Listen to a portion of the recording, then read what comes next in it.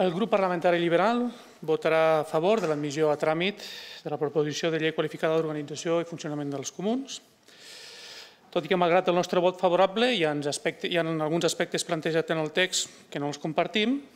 Entenem, però, que la tramitació parlamentària pot servir per discutir i potser consensuar aquells punts que ara per, ara per ara no veiem de la mateixa manera que els companys o els consellers socialdemòcrates. Estem d'acord amb que cal una reflexió respecte al funcionament dels comuns, principalment pensant en un reforçament del rol de les minories, ja que entenem que millorant les capacitats dels nostres consellers comunals de les minories, qui se'n surt beneficiat en el fons és la mateixa institució comunal. Perquè quan parlem de comú, no només parlem de majories. El comú són tant els consellers de la majoria com també els consellers de l'oposició o la minoria.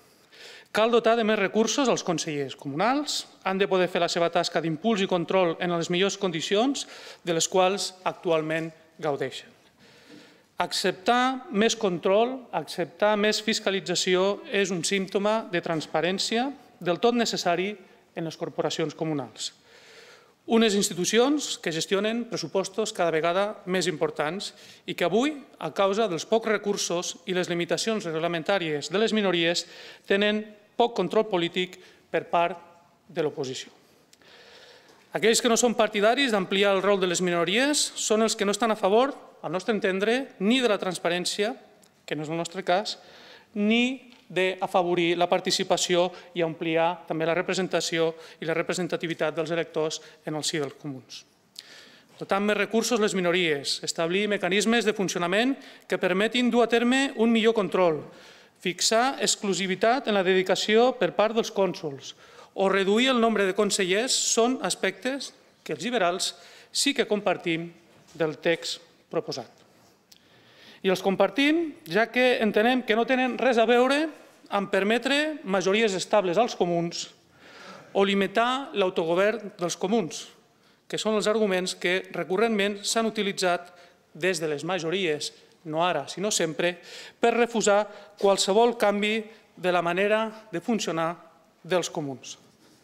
El nostre compromís, el compromís del grup parlamentari liberal i del projecte liberal, és recolzar aquest posicionament avui, que estem a l'oposició, com demà, si estem a la majoria.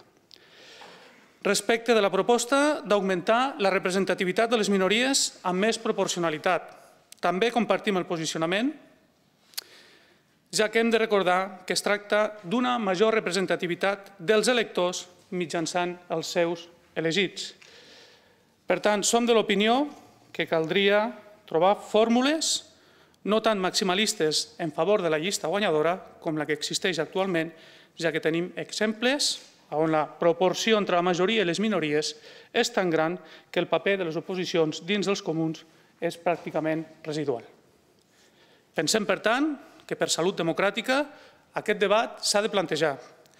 Tot assegurant, això sí, l'estabilitat política al capdavant dels comuns. No en renunciem, en som conscients que és important.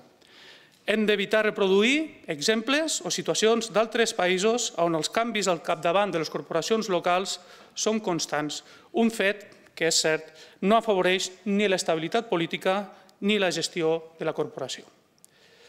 De la proposició de llei presentada, com ja he anunciat en un principi, també hi ha aspectes que no compartim. Un d'ells és la voluntat d'eliminar la figura del cònsol menor.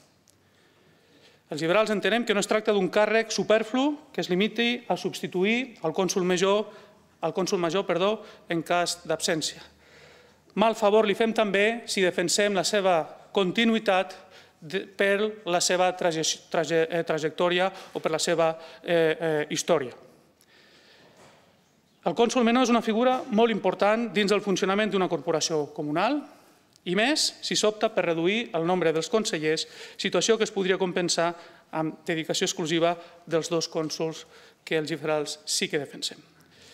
Per concloure, i deixant clar que sempre hem dit que estem a favor de la continuïtat dels comuns i de respectar el model institucional que la Constitució va reconèixer als comuns, veiem aspectes positius i d'altres dels que discrepem, però valorem positivament el fet de que es vulgui debatre i proposar millores en el funcionament dels comuns, un objectiu que, en definitiva, va en favor de més democràcia i més transparència.